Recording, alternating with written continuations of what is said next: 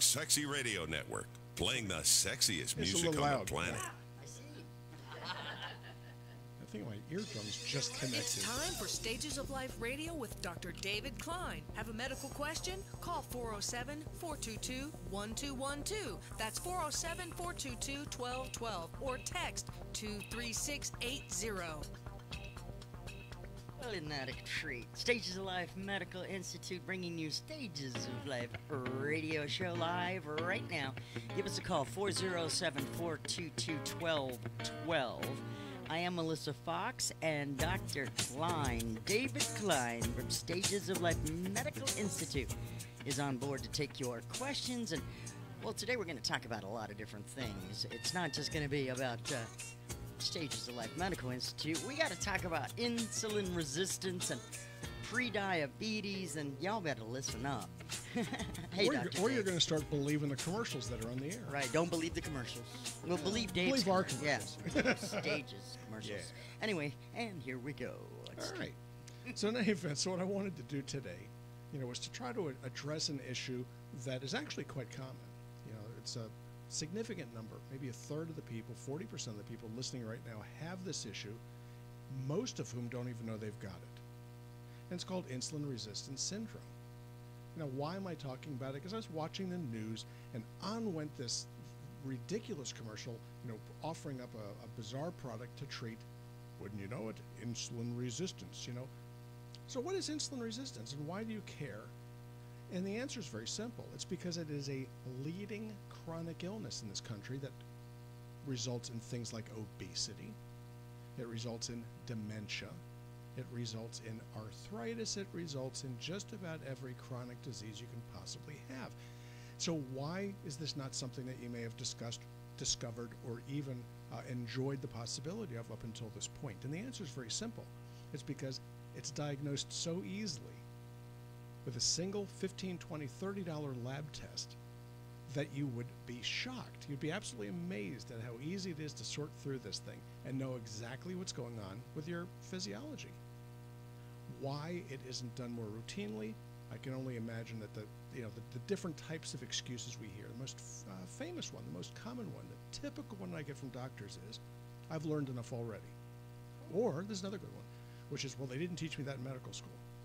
That is my favorite one okay because they really don't teach you in medical school what you need to know. What they do is teach you how to learn. They teach you how to find things in a library. That's what medical school is all about. Learning the vocabulary learning how to wear the white coat learning a little bit of attitude and learning how not to puke the, you know, when you see blood. That's really what you know medical school is all about. So i didn't learn about that therefore it's not to be learned.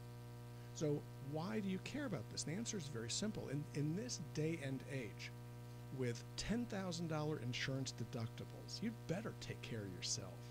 Because the likelihood of you actually getting your insurance carrier to pay for anything is pretty small.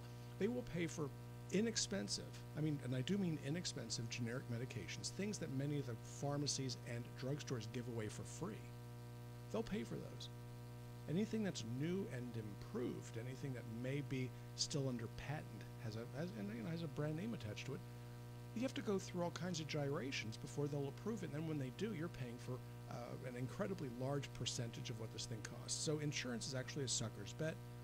Why do you do it at all? And the answer is so that you don't end up with financial ruin if you have a catastrophic illness. It's the same reason why you get automobile insurance. If you bought automobile insurance that paid for every oil change that you had, for every tank of gasoline, and for every wiper change, you would be paying a fortune. So what do you do? You go ahead and you make a decision, an economic decision. How much can I afford to pay if somebody hits me? That's called your deductible. Then what happens? You start making other decisions like, well, do I want to have uh, rental car insurance? Do I want to have un- underinsured, uninsured, da, da, da, all this other type of insurance? And you have to make a decision, an economic one. Am I willing to give up money in my pocket to protect me from financial ruin?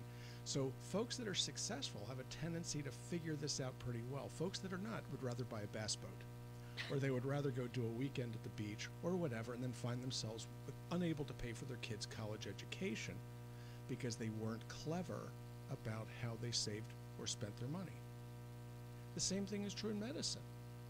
You find yourself um, looking for ways to make yourself better, keep yourself healthy. And so people are out there all the time do it yourselfing it. The DIY approach to medicine is I'm going to go to the health food store and talk to some zit faced kid and ask him what I should be taking. Then you get the product of the week. Not the way it should be done.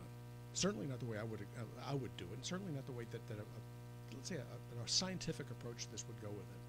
You look for reproducibility and you look for consistency. So, what is insulin resistance? So, insulin resistance is not a weird concept. It is a disease state whereby the insulin receptor becomes dysfunctional, requiring your pancreas, which is where the insulin comes from, more and more and more of it to maintain a normal blood sugar. And then the blood sugar starts to creep upwards and it creeps upwards and it creeps upwards until one day you end up either peeing sugar in your urine, which used to be the way we'd pick up diabetes. Diabetes means sweet urine, right? So we used to pick it up that way, or you pick it up on routine blood work, which might be done every two or three years to the average young adult. So by that point, you're done.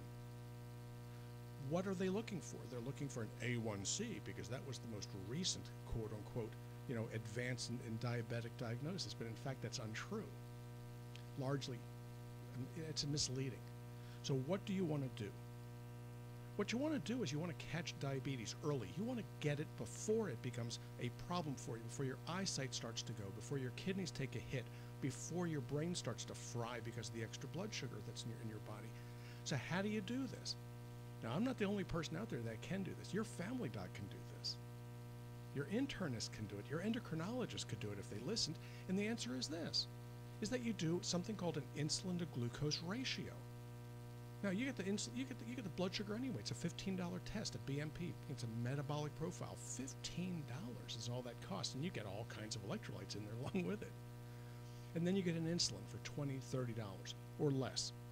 We do it for 15. You may have to pay more if you go someplace else. And so then you look at the ratio, the numbers, the difference, the amount of insulin that it takes to get your blood sugar into a proper range and then you know whether or not you are on the road to ruin. And if you do, it is a whole lot easier to fix it early in the game rather than waiting until you gain weight, start looking like a porker, and then come to me and go, I don't know what's wrong. So, what is it about?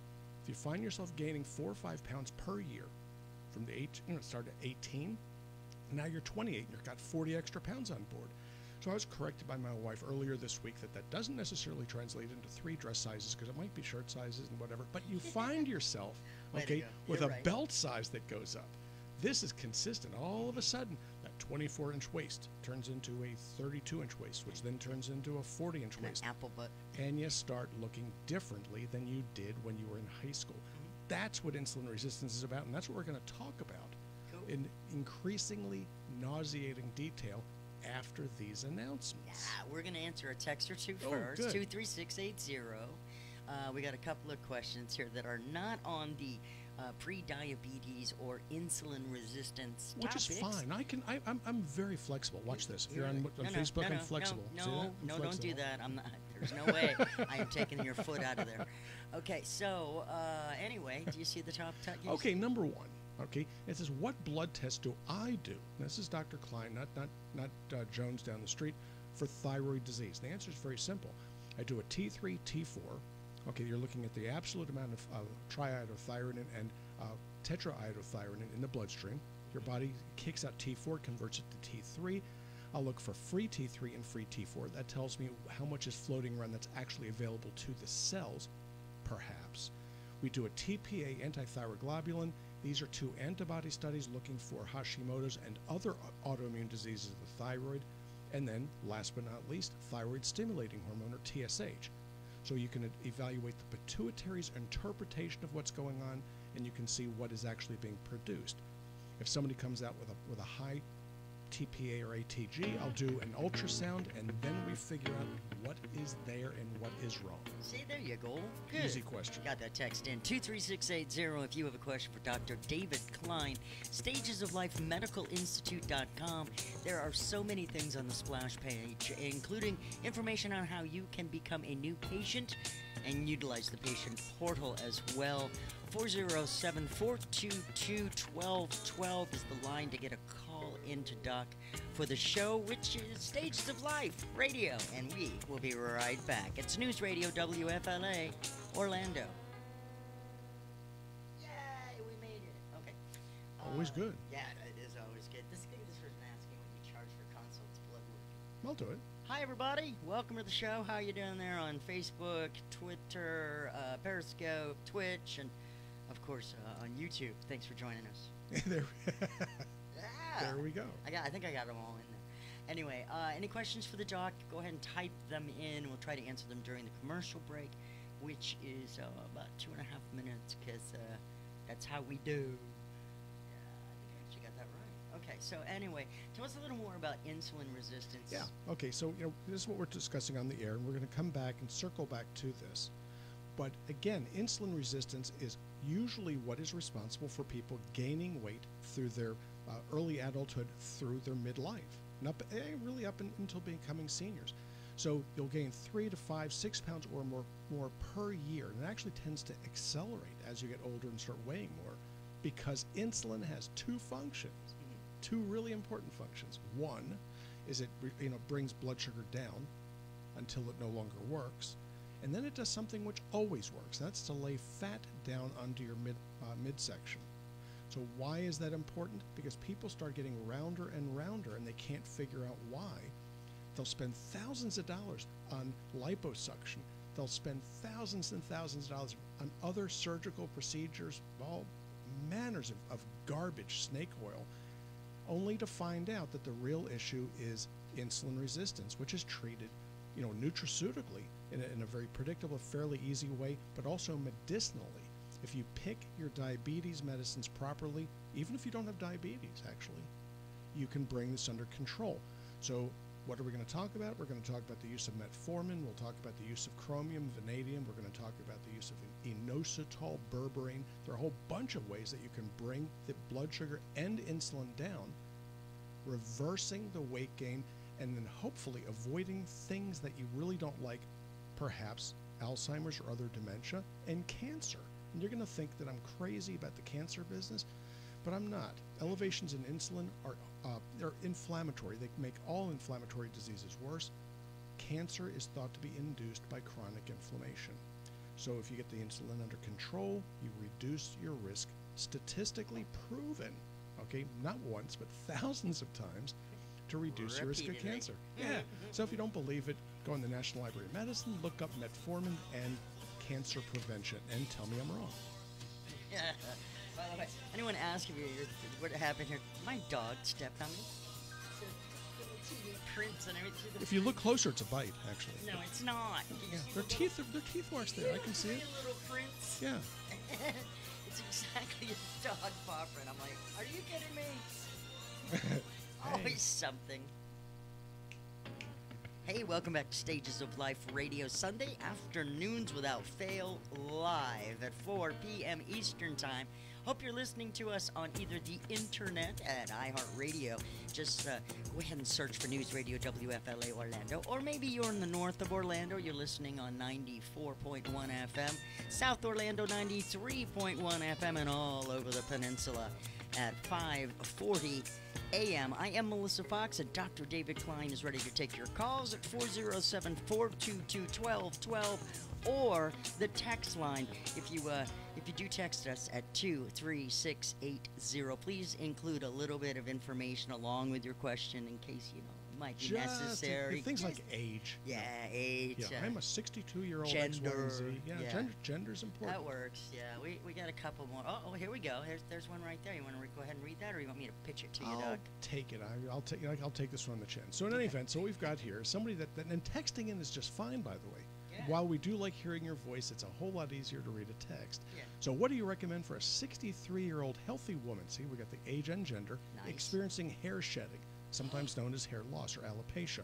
Normal labs, at least the ones that they checked. This is going to be. This will be. Well- in- very important here.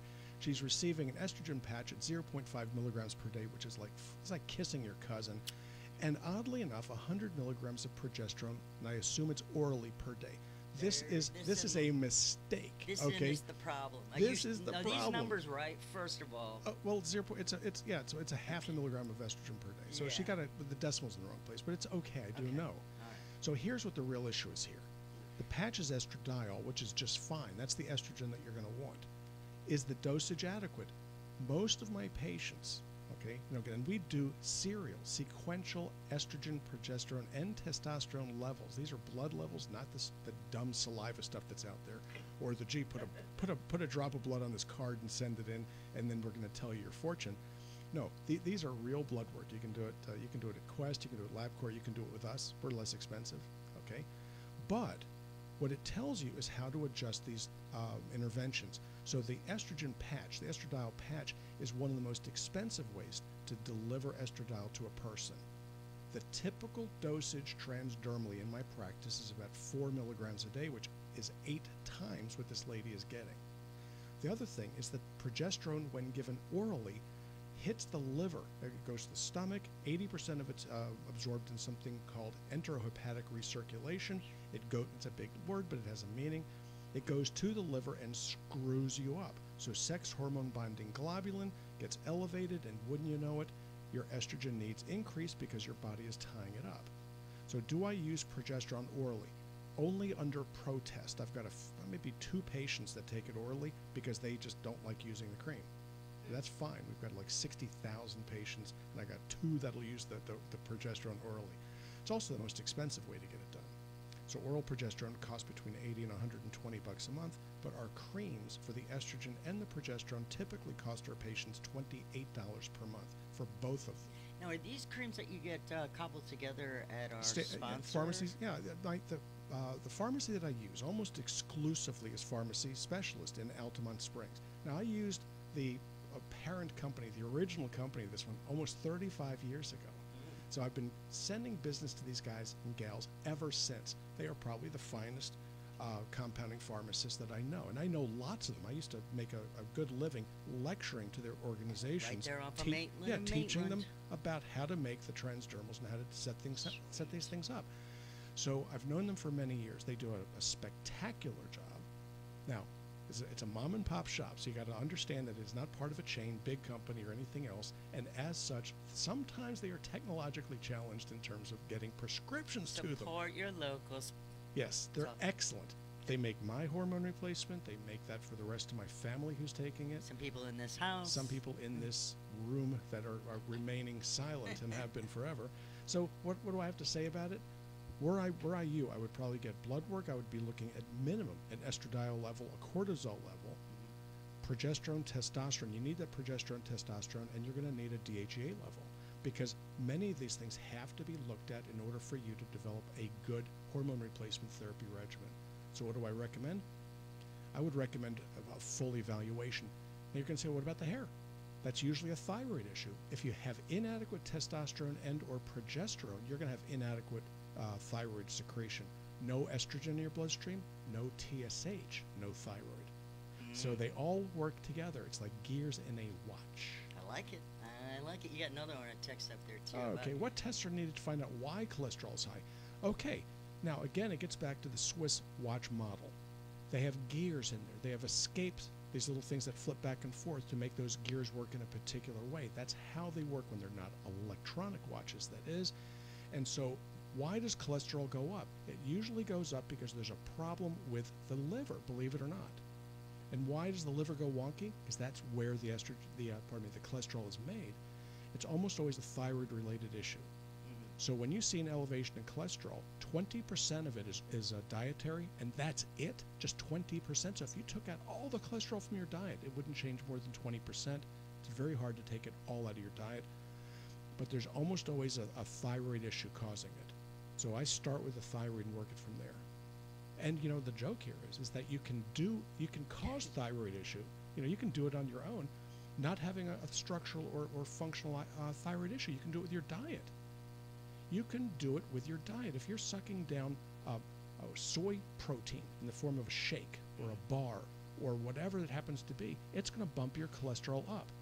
And this is the funny thing, okay? Because back in the 70s, they told us not to eat eggs, not to eat cheese, not to eat milk, because it would bump your, because you had to get rid of your cholesterol. Right? So what did they do? They substituted soy and all this garbage, and wouldn't you know it, cholesterol went up, heart disease went up, and nobody did well with it. Bad idea. Hey, um, we got a couple of questions here I want to get in, but we were initially talking about insulin Yeah, resistance. well, let's you want to roll back to that right, Right. now and then I pick this up. do because we have uh, well we're out there on the social media we Oh, broadcast we so better. Oh, yes. you can see dr dave's beautiful mug uh, there it is on stages of life medical institute follow us on the social media facebook you know twitter youtube as well and uh, the question coming off of facebook is for insulin resistance what is a good way to control it other than meds Okay.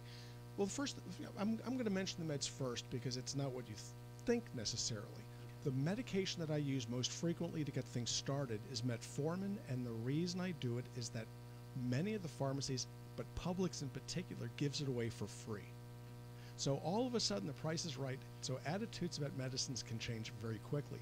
Your doctor does, in fact, have to write the prescription, but it's something that I take on a daily basis because it keeps my weight down. It's marvelous stuff. Keeps my blood sugar, my insulin down, and lowered my weight. So if I, if somebody says, "Well, I don't want to take metformin. I don't want to take glyburide, which is the other one that I use with it, clemipramide. This was what the chemical's called. I will use something called vanadyl sulfate, which is a mineral. Van- vanadyl sulfate.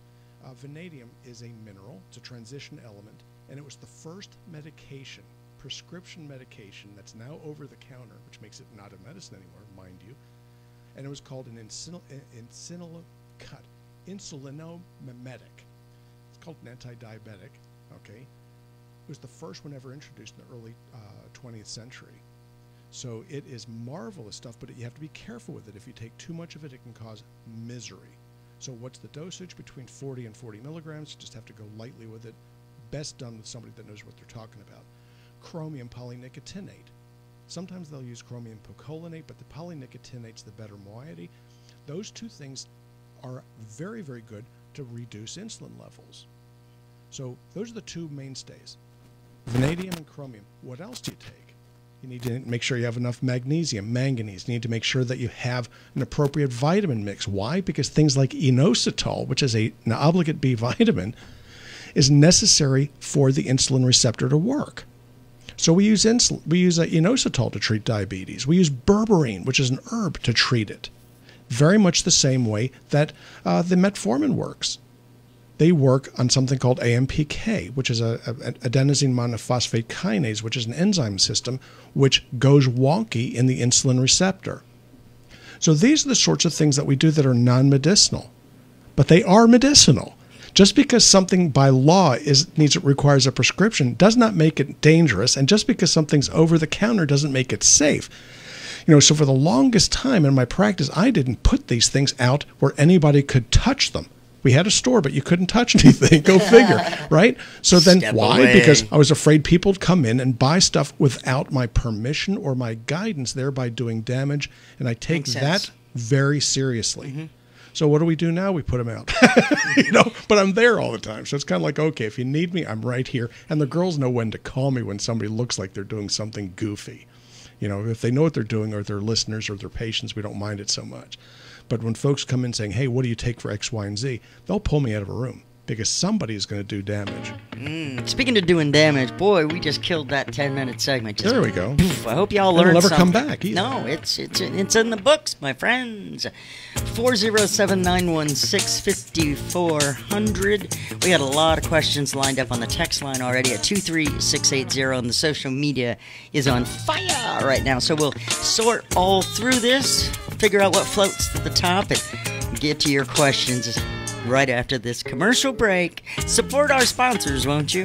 Like pharmacy specialists, we talked about them already. You can find them at makerx.com. This is Stages of Life Radio.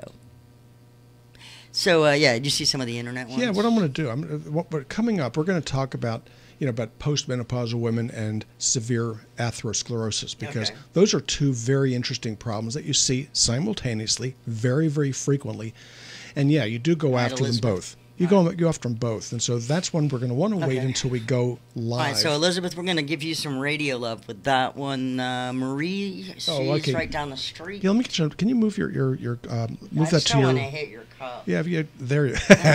yeah, well, she. It's okay. She's looking to figure out ways to hit my chair to make it drop. I know. Okay, so let's talk with uh, Marie. She's a 55 year old female that lives in Lake Mary, where I used to live. Um, let's see.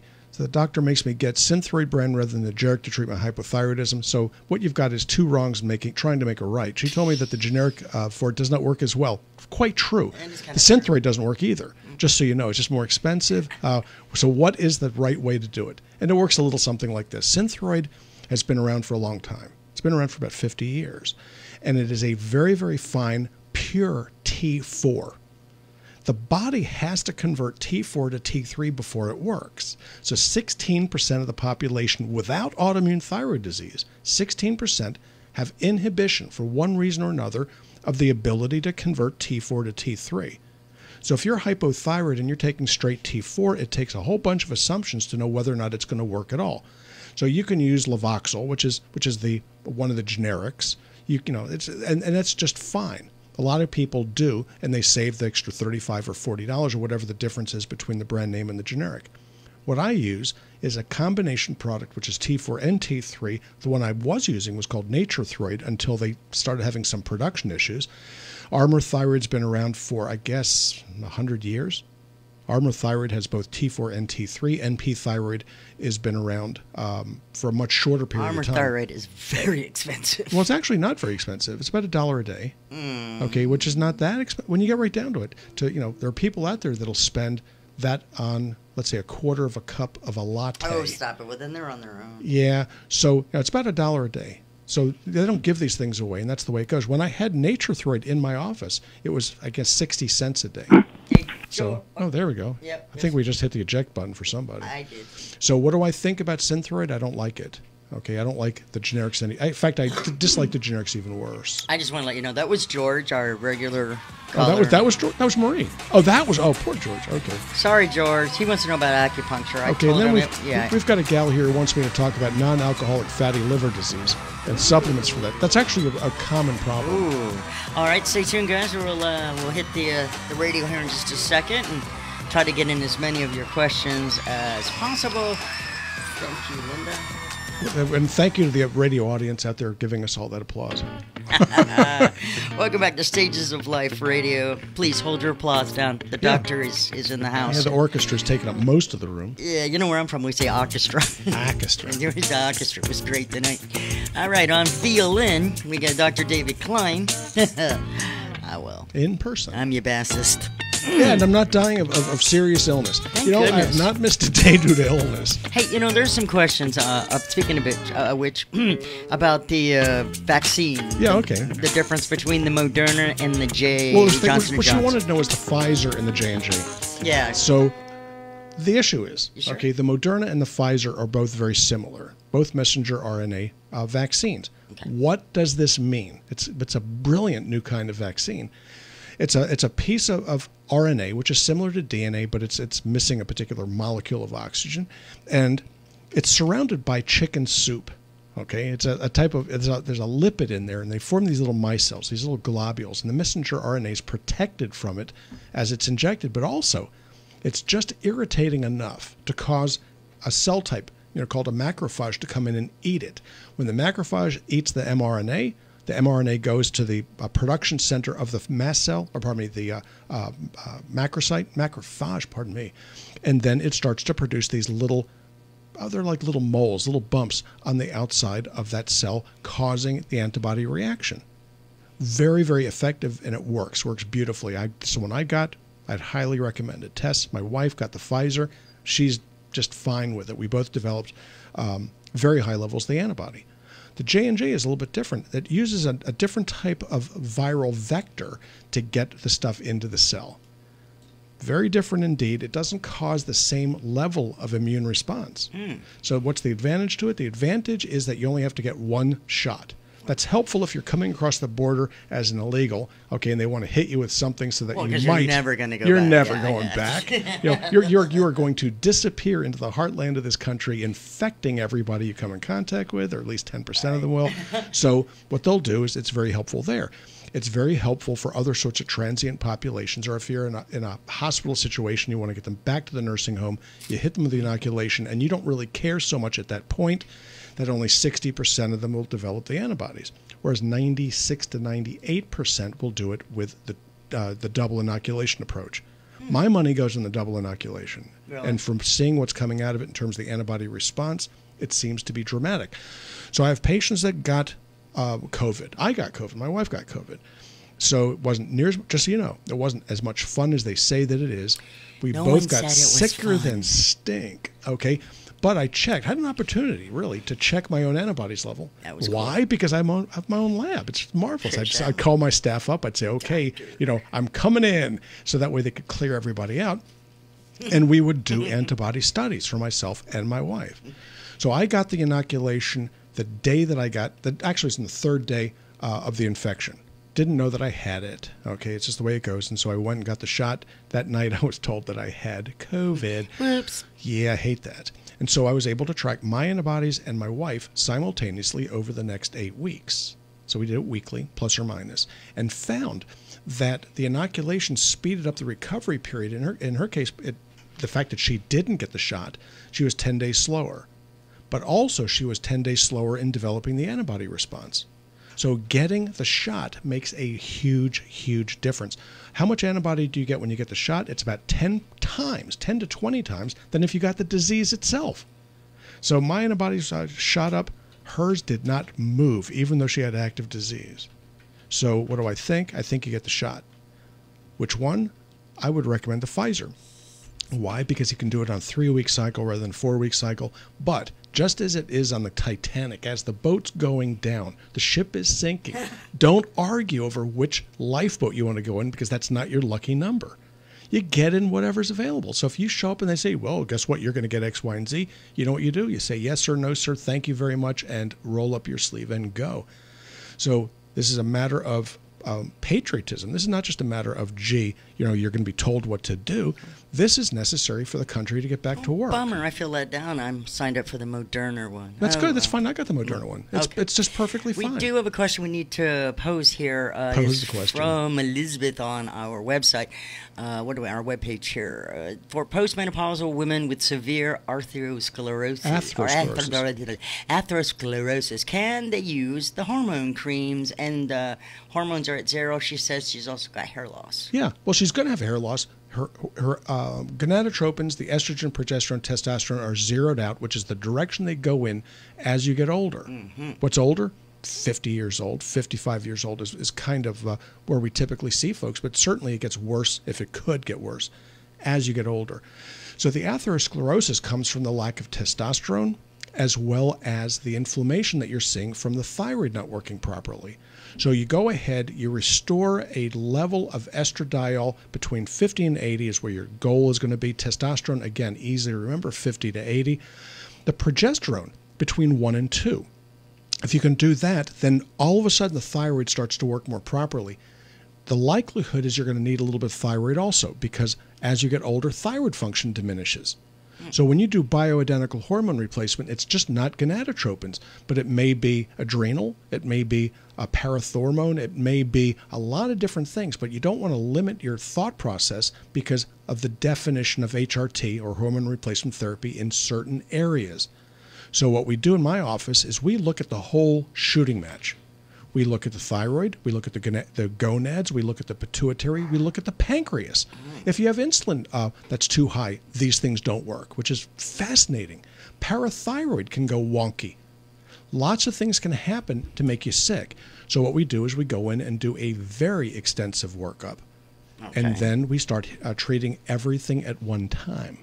Why waste time? All right, let's go back to the text line here 23680. You're listening to Stage Life Radio, Sunday 4 to 5, live on News Radio WFLA Orlando.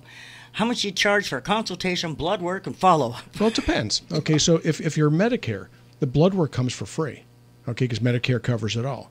If you're with Cigna, United, or Blue Cross, we typically send you out, or we'll give you the option of doing it in, in the office, which is faster and probably a lot better, but it could be as little as 200 bucks to as much as 490. If you go out to the main, uh, the, you know, the big commercial labs, it's eight times that amount. So if your insurance doesn't cover it, or if they don't like the diagnosis codes, you could have a bill up to thirty eight hundred bucks. And I've seen this happen. It happened to me um, almost what 20 years ago. I ended up with a bill for 1800 bucks because somebody miscoded the doctor who did the referral for me. Oh gosh. So I had to write that check. So it would have been a whole lot cheaper if I'd paid cash in my own office than having gone out. So, you know, that's pretty much what it is. New patient evaluation, it depends on the individual. It could be as little as 200 it- if, if it's again, whatever your insurance copay happens to be is what it typically costs uh, for the uh, consultation. If we don't do your health insurance, then it could be as little as 200, could be as much as 470 or 480. So it's uh, and it takes about three to four hours. So Oh, it's yeah. there. You're not in and out like a a, a, a minute, no, this minute you- clinic. yeah, you this know, is this is an all afternoon Get dropped affair. off. Send uh, whoever's driving you for lunch. Yeah. Maybe Yeah, a it is, it library. is not a quick book. deal. We do not do a This is some sloppy or halfway job. right there. Hey, we got another question here. Uh, did Doc? I, I suffer from throat globus. Is that right? I'm not really sure what the but Food sensitivity testing at the office. Do you do that? Might No. be environmental. Yeah okay. I think what she's looking at there is just basically phlegm production. Well, you haven't told me about that. I get real phlegmy with certain things that I eat. well, we it but we like in the radio business. What are the two things you don't eat before you go on the air? well, uh, dairy and peanut butter. yeah. yeah. You don't eat those things because they tend to cause the production Well, of mucus. Crocker- now, crackers. ask your family doctor why does it do that, and the answer is going to be, well, I don't really know. And the answer, the answer is, is you are what you eat. Okay, and food has interesting influences on how you feel.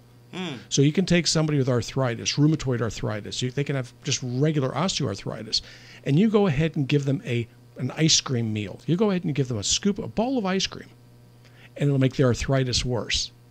You take somebody that has thyroid disease and you give them spaghetti and meatballs with lots and lots of Parmesan cheese, and it makes it worse. Because food be thy medicine. Okay, goes back to Hippocrates. So, what can cause you to, to kick out um, phlegm from your throat? Can it be allergic or can it be dietary? And the answer is yes. most of the time it's dietary with me. Most of the time it's let you know there, dietary. Elizabeth. Uh, yeah, milk But it- products, cheese products, Right, and but it doesn't mean allergy. No. So you can do food allergy testing and be misled by this. Yep. So what is the difference between a food sensitivity and a food allergy? And the answer is something called immunoglobulin class E or IgG, IgE for short. So if you have an allergic issue with foods, you'll pick it up that way. Sometimes you'll pick it with IgM in the bloodstream. But sensitivity and allergy are two different things. Food allergies themselves are actually fairly unusual but food sensitivities are very common. Why does this happen? Well, let's just say that you have a food sensitivity to uh, to dairy because you have gallstones. Guess what? What? Okay, that doesn't mean that you have a bloodborne illness. It means you have gallstones. Oh. You know, that's just the way it works. Okay, we've Lots got of a reasons. couple more questions to answer and another segment to do so. 407 422 1212. You can follow us on Facebook at Stages of Life Medical Institute. The same handle for YouTube. And also text us Yeah. 23680. And if you go to stagesoflifemedicalinstitute.com, you can see all of our websites. And There there are many. go, There's yeah. many things to look Let's really land there and take off for points. there you go. Yeah, we'll, we'll be right back. I don't know if that's gonna do what it's supposed to do. So it might only be like a minute break. All right. Yeah. So I was scheduling something. You have a. Yeah, it doesn't look like it's gonna take. You have a question online here about supplements for NAFLD. Non-alcoholic fatty liver disease. Yes. All right, no, that. no problem. That's actually that's okay. Non-alcoholic fatty liver disease. What does this mean? Yeah. It means somebody found either fibrosis or fatty deposits within the liver in somebody who's a non-alcoholic. So it's a disease that isn't really a disease. misleading. It's a finding. So something something is wrong with your liver and it's not alcoholism. Okay, that kind of narrows it down to about a hundred different things, doesn't it? Hundred easily. So could it be hepatitis C? The answer is yes. Could it be hepatitis A or B? And the answer is well, maybe. Could it be hepatitis D, E, F, G, or H? The answer is of course. What else can cause the the liver to go wonky? So there are um, inborn errors in metabolism that can do it. You can see it again with insulin resistance syndrome. You can see it with hypothyroidism, and you can see it with gallbladder disease. You can see it with certain infectious diseases. So we're going to go over that in just a second with this youngster. And here we go. Yeah, uh, well, close as I can do. All right, did you get uh, all covered? We need more on that one. Well, I think uh, you know. I think I have. The only thing I didn't discuss was what do you do about it. Thanks, Melanie. Did you get that? no, what she didn't because because I didn't tell her how to, what she needs to take. okay, she's gonna. It's coming. It's coming. Yeah, don't worry. Hang on. Easy, now. easy Hang action. Welcome back to Stages of Life Medical Institute's show called Stages of Life Radio. It's pretty crazy how we do that. Yeah, it? It's a coincidence because like that's also the name of my business. Oh, look at that. That's Dr. David Klein. That's K L E I N. Yeah. Check him out. Yeah, he's got five board certifications, and the guy never I'm stops not done learning. yet. He's, I was going to say he's still not done. I'm still working on Okay, so we were answering a question off of the internet, off our uh, Facebook pages, Stages of Life Medical Institute, and Melanie checked it. She wanted to know supplements that you can use to treat non-alcoholic Fatty liver fatty disease. liver disease. So N- NAFLD, okay, is the acronym that's used, and it's generally given to somebody as almost like an Academy Award for having something going on in their liver that you pick up on ultrasound, mm. most typically. But when asked, how much do you drink? And if you go, I don't drink, then they go, oh, then you just just have NAFLD, which means that you have something wrong with your liver, and we just don't know what it is. but we know it's not alcohol. No, it's not alcohol. So the first few things you want to do is to make sure that the workup is, is a little bit more complete than that. Uh-huh. So have them check you thoroughly for hepatitis. Okay, not just hepatitis A and B, but also C. You want to get them all. So you look at the at the liver enzymes. So if the liver enzymes are just like moderately or modestly elevated, something is happening. More times than not, it's either going to be thyroid or it will be gallbladder disease. So typically, what I do is I pull people off of soy products because if it's thyroid, that straightens it out. takes about six to 12 weeks before you'll see it on ultrasound. But in terms of the nutraceuticals, I use two things. And the joke is they both used to be prescription that were then turned into over-the-counter I products. see. So if this makes them if this makes them non-medicinal, I'd still amused by that. First one's called N-acetylcysteine, sometimes known as NAC. You take five to six hundred milligrams three to four times per day. That might be breakfast, lunch, dinner, bedtime, or it might be you know just as, as you can take it. Mm-hmm. It smells a little bit like rotten eggs. It is not rotten eggs, but it will it will thin the biliary secretions, making the gallbladder drain and thereby making the liver drain a little bit better. Takes the pressure off the hepatocytes, and wouldn't you know it, sometimes the fatty disease goes away. But it doesn't work by itself necessarily, so you add another medication called guaifenesin. Guaifenesin was developed initially as a muscle relaxant. It became known as a mucolytic, and you will know this by the brand name Mucinex. So I'm too cheap to buy the brand name, so I buy the generic, and it works just fine. It is the original blue pill, blue round pill in this case, and you take one with each of the NAC. What does it do? It makes sure that the liver drains, thereby taking the uh, the pressure, metabolic pressure, off the liver. In the meantime, what else does it do? It drains the pancreas. It also drains your prostate if you have one. It drains your, your sinuses. It drains a lot of different glandular tissue because it thins secretions across the board. It doesn't have a, a direction uh, finder on it for the um, liver, it hits everything. Marvelous stuff. You find yourself coughing, sneezing, and bringing up secretions from your lungs. So, NAC, again, Mucinex, the, the, um the NAC itself is actually used to treat things like cystic fibrosis as well as other respiratory illnesses. It works beautifully for this. So, what else have we got there, my friend? Well, I, I, I see someone answering someone's question on, Okay, on hey, the this is- internet. this is fine. Good. And I want to make sure that, uh, well, you know, and no offense to anybody if it works for you. Now, uh, initially in an earlier segment, Linda on our Facebook live feed had asked how to uh, to take care of the insulin resistance without medication. Sure. Now, Luann is saying that she used keto, uh, dropped her AC1, and she's off the meds now for three years, and does uh, echo the diet is oh, that's key fine. to everything. The diet is key to everything. Mm-hmm. You know, but you know, uh, and coming off the medication's marvelous. It all works very well. Good but unless you know your insulin level and check your insulin level, Mm-hmm. you don't know how well you're doing. Right. And So- then she said it was keto as well as intermittent fasting. Well, the intermittent fasting, you know, intermittent fasting is something that we all do anyway. Right. It's when we go to bed. We go to bed. We have an eight to ten hour fast. There are people that do uh, religious fasting. You know, we have all kinds of, of- Mm-hmm. This has been going on for thousands of years. but the idea of putting your body into ketosis. and- Ketosis just simply means that you're not taking in enough um, caloric you know load in order to keep yourself from losing weight. So every diet that gives you less calories than, than you have to, to uh, live is going to make you ketotic. So ketosis is not a lifestyle. It is not a type of uh, diet. It's just simply what happens when you do diet. So as you start to burn fat, ketones are, are uh, generated. In fact, if you go out of control with your diabetes, you become ketotic. It doesn't necessarily mean healthy. Right. It's just a physical finding.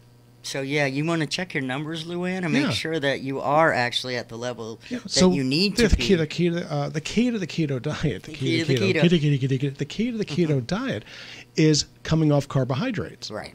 Which, by the way, is something that the American Diabetes Association has been recommending for what, 60 Well, years. carbs is bad. Bad for you.